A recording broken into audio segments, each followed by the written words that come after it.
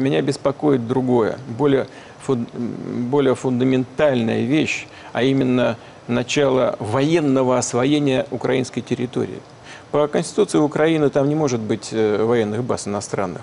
Но можно создать учебные центры, а можно создать какие-то э, другие, э, пользоваться другими формами. Вот освоение, военное освоение территории, которая непосредственно граничит с нами – это э, создает для нас существенные проблемы в сфере безопасности. Это касается реально уже жизненных интересов Российской Федерации и народа России. Нужно учитывать, что западные партнеры обостряют ситуацию поставками Киеву летального современного вооружения, проведением провокационных военных маневров в Черном море, да и не только в Черном, и в других регионах, близких нашим границам. Да, мы постоянно высказываем наши озабоченности по этому поводу, говорим о красных линиях. Несмотря на то, что отношения между Россией и э, нашими западными партнерами, включая США, были просто уникальными, уровень взаимоотношений был чуть ли не союзническим,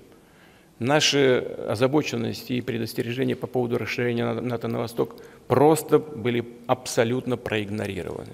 Более того, НАТО инициативно сломала все механизмы диалога. На военную же активность натовцев по периметру российских границ мы, конечно, будем адекватно реагировать. Но главное, в Брюсселе должны понимать, что снижение военно-политической напряженности отвечает не только российским интересам, но и интересам всей Европы да, и всего мира в целом. Значит, если на территории Украины возникнут комплексы какие-то ударные, подлетное время до Москвы будет э, значит, там 7-10, а в случае размещения гиперзвукового оружия 5 минут. Вот представьте себе, да? А нам что делать? Мы тогда должны будем что-то подобное создать в отношении тех, кто нам так угрожает. Теперь э, вы спросили про Украину. Где эти красные линии? Это, э, это прежде всего создание угроз для нас, которые могут исходить с этой территории.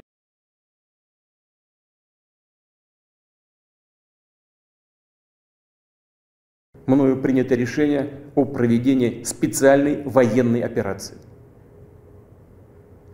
Ее цель – защита людей, которые на протяжении 8 лет подвергаются издевательствам, геноциду со стороны киевского режима.